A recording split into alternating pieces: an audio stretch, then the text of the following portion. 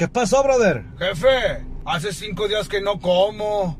¿Me puede dar algo? Híjole, pues te puede dar una infección, o sea, anemia o algo muy culero, compadre. Mucho cuidado. Cuídese.